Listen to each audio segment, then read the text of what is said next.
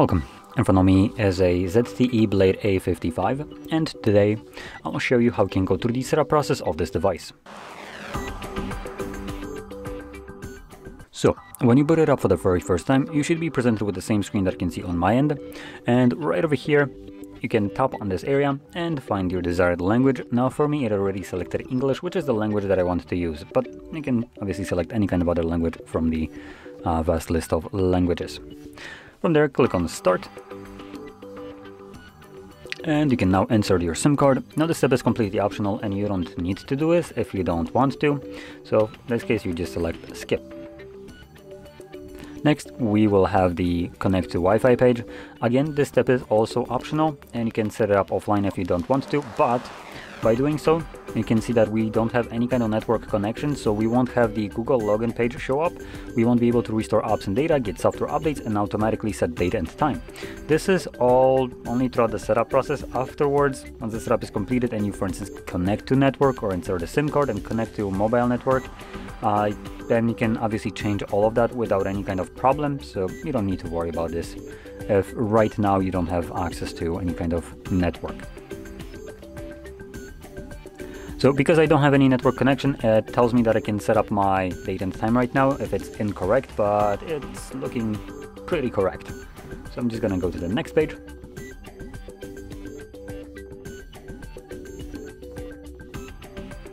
Next, uh, we have Google services like location, scanning, and sending user and diagnostic data.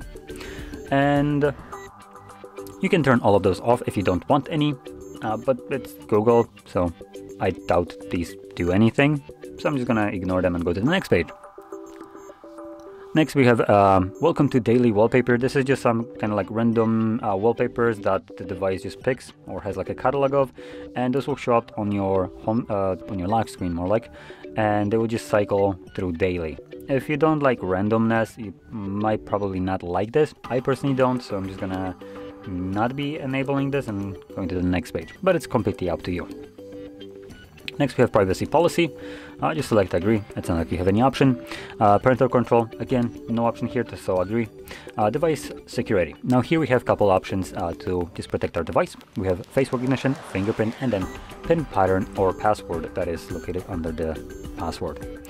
Now if you're planning to use any of the biometrics, which are the face recognition and fingerprint, you will always be required to select pin pattern or password, and the reason for that is biometric security isn't 100% reliable, so the times where it just fails to recognize your finger or your face or both, you can unlock your device using pin pattern password, which obviously isn't prone to failure for no reason.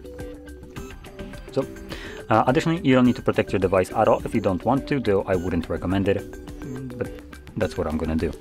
Uh, next we have system navigation and we have two different methods of navigating to the device, gesture and button. So I'll be using gestures which are selected by default, but you can choose buttons if you so choose to. Next. I believe this is right about almost the end of the setup, and uh, yep, I think it is. So, let's click on get started, and, and there we go. So, if you found this very helpful, don't forget to hit like, subscribe, and thanks for watching.